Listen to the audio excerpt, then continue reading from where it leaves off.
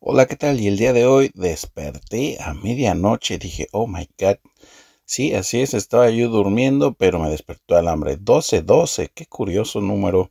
Así es, medianoche y yo desperté con hambre. Dije, ¿qué hago? Tengo que preparar algo que sea sencillo porque no quiero interrumpir mi sueño, pero a la vez el hambre no me deja dormir. Así que abrí una lata de frijoles, la enjuagué porque no me gustan los condimentos que tiene o los conservadores que tiene la lata. Así que ya que lo enjuagué, lo puse en la licuadora, un poquito de agua y los molí. Después puse un sartén con un poco de aceite de coco porque le da otro saborcito que me gusta y los puse en el sartén a que se estuvieran ahí friendo. Este, pues sí, porque como quedaban muy aguados, pues dije, los pongo un poquito en el sartén, que se vayan friendo, se evapora un poco el agua y tienen un poco más de consistencia. Así es que poco a poco se fue evaporando el agua y estuvo teniendo más consistencia.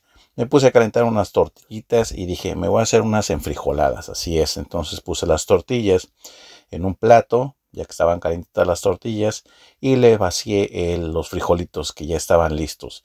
Ya que estaban los frijoles, dije, mm, se me antoja como con queso, como si fueran unas este, enchiladas, pero como son de frijoles, serían enfrijoladas con queso gratinado. Así es, ¿ok?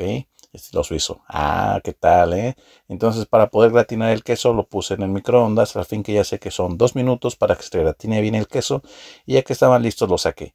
Dije, como que algo le falta. Y se me empezaron a antojar unos chips porque parecía como botana.